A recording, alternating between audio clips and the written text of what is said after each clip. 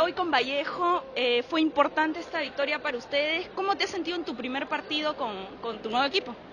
Bueno, al principio me sentí un poco cohibida porque es primera vez que salgo a jugar en liga, pero ya después, mientras fue pasando el partido, ya me fui relajando y me fui sintiendo bien. Dime, ¿cómo te has sentido con la acomodadora, Patricia Aranda? Vi que te armó una bola con el pie y la pegaste y fue un punto muy gritado. ¿Cómo te, te has ido acomodando con ella? No, con ella me, ve, la comunicación es bastante, bastante buena.